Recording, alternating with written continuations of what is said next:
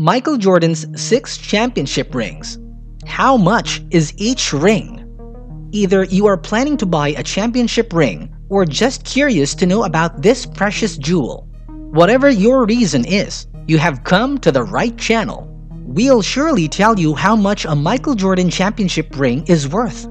But before that, please be sure to like, share, and subscribe to this channel so you won't be left behind on the latest craze in NBA and other interesting topics.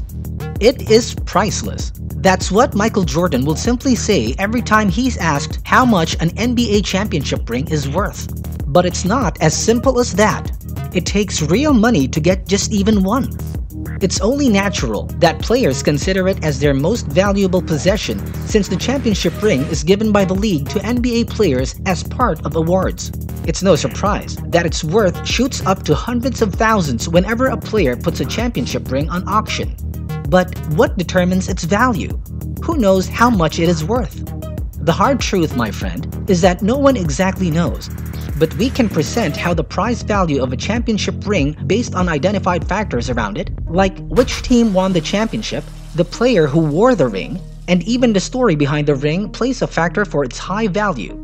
Championship rings won by classic NBA teams like the 1996 Chicago Bulls, the 1986 Boston Celtics, the 2001 Lakers, or the 1987 Lakers usually cost a fortune. Buying or inheriting it from those legendary teams would mean you have a mini bank in your bunker. Plus, it adds up if the team had an excellent performance that year, they won the championship. Of course, the ring would be incomparable if it is won by a legend player like Michael Jordan versus an average NBA player. Let's say Herald Sun reported that an NBA championship ring belonging to a member of the 1993 Chicago Bulls was up for sale on eBay with a price of $29,923. Then that year, Chicago Bulls defeated the Phoenix Suns 4-2 in the finals. From 1991 to 1993, where Jordan signaled his first retirement from playing basketball, the Bulls lifted the championship trophy for the third time in a row. A Chicago Bulls championship ring from that year would be pricey, but one from a player like Jordan would cost more than $29,923. The history that ties behind a championship ring can also pull its value. Let's say, if the championship ring in question connects to an outstanding NBA final that left a remarkable footprint, the ring's value would likely go up. A perfect example of the historical game was where Hakeem Olajuwon's Houston Rockets won over the Orlando Magic team who were stronger favorites during the 1994-1995 NBA Championship Finals. Getting a championship ring off the Houston Rockets from 1994 to 1995 will be a great deal. Such a ring can cost around $20,000 to about $300,000. It all depends on the player that wore it. Hakeem Olajuwon's championship ring will be a great start. Though it is challenging to find out the exact price of championship rings, there are legendary NBA players who auctioned their rings to the public. This can give us a ballpark figure of how much the cost of championship rings are. First is Oscar Robertson, who auctioned his championship ring for $91,000. Oscar, the Big O Robertson, won the 1971 NBA championship, and a ring comes along with it. He is one legendary NBA player that left marks in the hearts of fans. Although it has been over 44 years since he retired from professional basketball, game items and souvenirs are still way pricey.